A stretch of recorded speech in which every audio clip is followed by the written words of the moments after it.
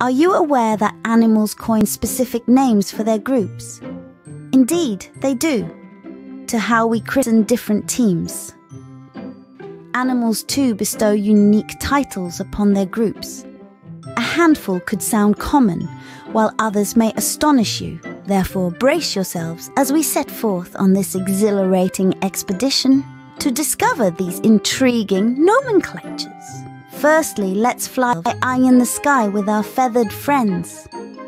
Now, did you know that when birds of the same species gather, they have a special name for their group? That's right. So let's take a journey together and discover these unique names.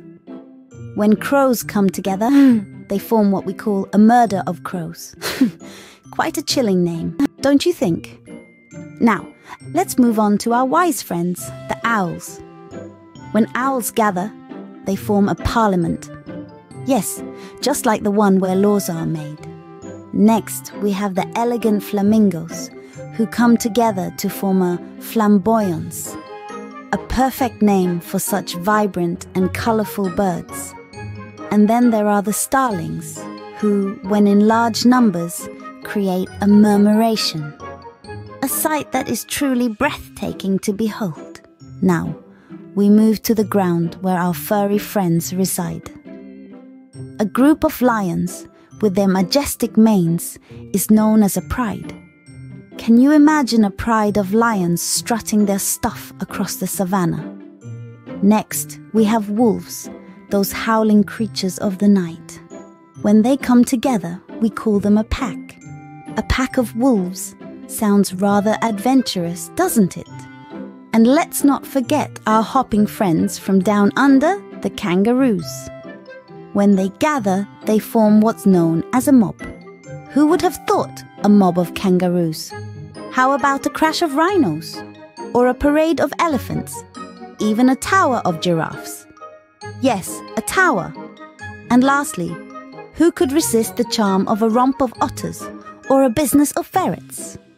Oh, wow. These land animals sure have some cool group names, don't they? Finally, let's dive deep into the waters to explore our aquatic mates. Here in the deep blue, a group of fish gliding by is known as a school. When you see a bunch of playful dolphins swirling around, they're called a pod. And if you ever stumble a pea, a upon a group of jellyfish, um, it's known as a smack. Isn't that intriguing, eh?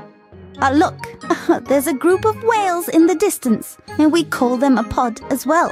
Eh? And did you know a gathering of sharks is known as a shiver?